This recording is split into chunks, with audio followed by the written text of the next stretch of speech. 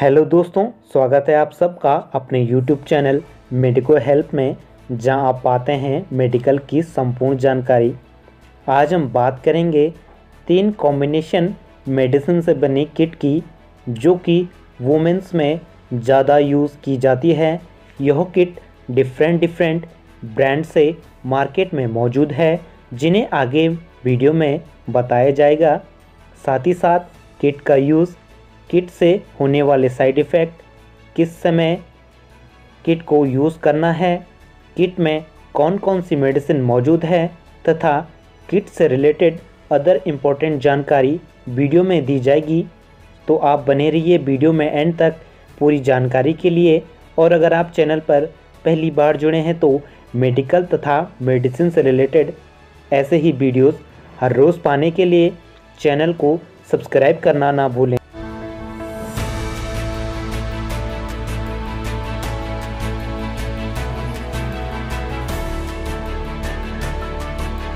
दोस्तों, वीडियो शुरू करते हैं।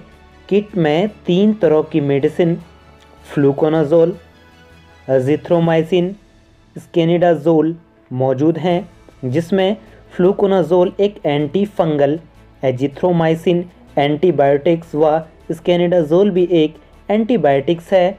यह मेडिसिन अलग अलग स्ट्रेंथ, जैसे फ्लूकोनाजोल डेढ़ सौ M G azithromycin one gram व स्केनिडाजोल वन ग्राम की स्ट्रेंथ में मौजूद होती है। इसमें जैसा कि आप स्क्रीन पर देख पा रहे होंगे, सबसे ऊपर वाली टैबलेट फ्लूकोनाजोल जो कि डेढ़ सौ एम में मौजूद है। दूसरे नंबर पर एजिथ्रोमाइसिन जो कि वन ग्राम की स्ट्रेंथ में मौजूद है। व लास्ट में स्कैनिडाजोल की दो टैबलेटें जो कि वन ग्राम में मौजूद हैं। यह किट मार्केट में फैस थ्री किट अजीनो किट जैसे नामों से अवेलेबल है, जिसका प्राइस ब्रांड टू ब्रांड अलग अलग हो सकता है व इसके अलावा ही इसके अदर ब्रांड्स मार्केट में मौजूद हो सकते हैं। अब मेनली बात करते हैं इस किट के यूज़ के बारे में। तो किट का यूज़ फीमेल्स में वेजाइनल इन्फेक्शन जो कि फंगी के द्वारा बैक्टीरिया के द्वारा या ईस्ट के द्वारा भी हो सकता है। तो इस कंडीशन में वजाइना में स्वेलिंग बर्निंग इचिंग देखी जा सकती है।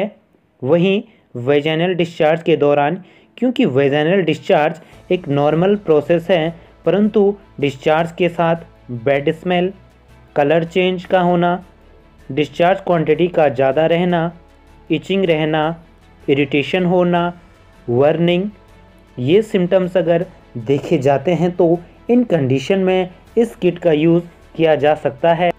वहीं मिक्स वेजनल इन्फेक्शन कैंडिडाइसिस और कई पेशेंट में यूटीआई यानी यूरिनरी ट्रैक इन्फेक्शन के दौरान भी इस किट का यूज़ कराया जा सकता है। इसके अलावा गायनेकोलॉजिस्ट द्वारा इसका यूज़ किसी अदर सेक्सुअल डिज़ीज़ में भी कराया जा सकता है। किट को यूज़ करने के बाद साइड इफ़ेक्ट के रूप में vomiting nausea headache constipation diarrhoea जैसे साइड इफ़ेक्ट देखे जा सकते हैं, जो कि कुछ ही पेशेंट में होते हैं। अब जानते हैं किट को कब और कैसे कैसे लेना होता है।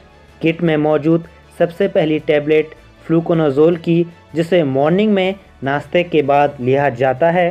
किट में मौजूद दूसरी टैबलेट एजिथ्रोमाइसिन, जिसे लंच के एक घंटे पहले लेना चाहिए, तथा किट में आखिरी टैबलेट जो कि क्वांटिटी में दो रहती हैं, उन्हें रात में भोजन के बाद लिया जाता है, जो कि इस कैनेडाजोल की होती हैं। इस प्रकार इस किट को एक ही दिन में समाप्त करना होता है। किट का यूज़ कितने दिनों तक करना है, ये पेशेंट की कंडीशन के अकॉर्डिंग तय किया जाता है। प्रेगनेंसी के दौरान व ब्रेस्ट फीडिंग के दौरान फीमेल्स द्वारा इस किट का यूज़ नहीं किया जाना चाहिए। आप जानते हैं यह किट कैसे अपना कार्य करती है? किट में मौजूद फ्लूकोनाजोल की टैबलेट जो कि एक एंटी फंगल है, वो फंगी की ग्रोथ को रोकता है या उसे डिस्ट्रॉय कर देता है।